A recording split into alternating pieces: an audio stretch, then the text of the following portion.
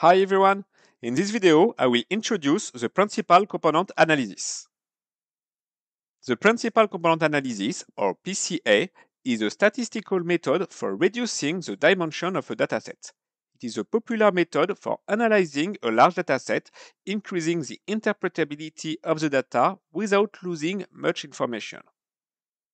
It does that by maximizing the percentage of total variance which is explained with new uncorrelated variables, the principal components, which are linear combinations of the initial variables.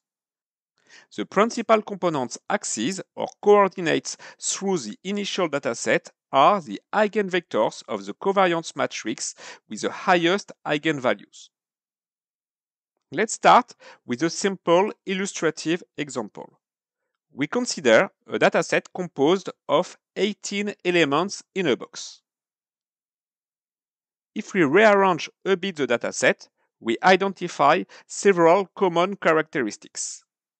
First of all, all shapes are circles with quite similar sizes. 10 out of 18 have a dark color 8 have a light color. The color of 10 of them contains the primary color red, while 8 contains the primary color blue. Orange is a mix of red and yellow, while green is a mix of blue and yellow, so that's why orange is classified with the red and green is classified with the blue. And 7 out of 18 actually contain some yellow.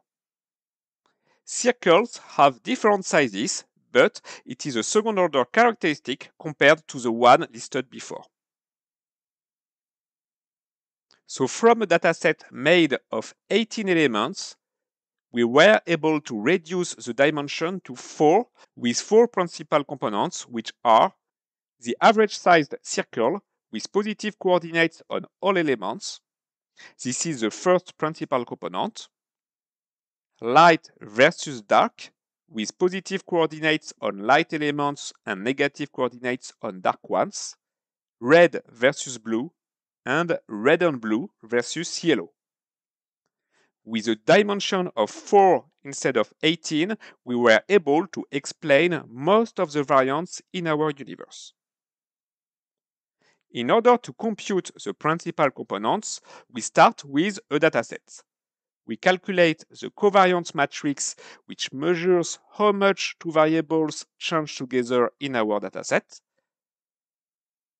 And the principal components are new uncorrelated variables, linear combinations of the initial variables, which maximize the total variance explained. It can be shown that the first principal axes are the eigenvectors of the covariance matrix with the highest eigenvalues. With the P first principal components, we are able to explain most of the variance in our datasets. Let's consider a two-dimensional dataset. The scatter plot shows the relationship between the two variables. The first principal component is the direction of greatest variation. It is formed by minimizing the mean squared distance between all variables and their projections. The mean squared distance tells you how much variance the first principal component doesn't explain. It is explained by the second one in the orthogonal direction. It is interesting to compare PCA with simple linear regression of x2 on x1. While the first principal component is formed by minimizing the mean squared distance between all variables and their projections, the ordinary least square regression line is formed by minimizing the mean squared error in the y direction. So the two methods will give different results in general. The first principal component is actually equivalent to the total least square line, which is another type of linear regression. Let's look at another example by considering two correlated Gaussian variables, x1 and x2 follows a Gaussian distribution with zero mean, 0.2 and 0.1 standard deviations respectively. The two variables are correlated with a correlation of 80%. we simulate 1000 data points.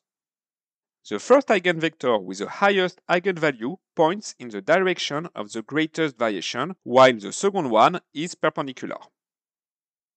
With V1 and V2, the variance explained by the first and the second principal components, we draw the new axes from the center of the data points.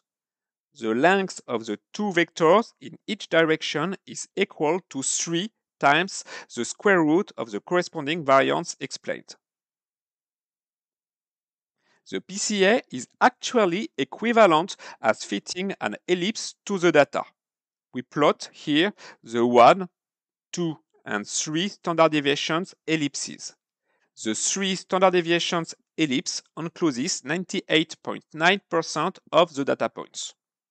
The first eigenvector with the highest eigenvalue points in the direction of the first axis of the ellipse, the longest one, while the second eigenvector points in the direction of the second axis. In this example, 94% of the variance is explained by the first principal component. And we can see that principal axes are unit vectors with a magnitude of 1. If we reduce the correlation between the two variables, we see that the angle between the first principal component and the first axis decreases. The relative weight of the variable with the highest variance increases in the first principal component.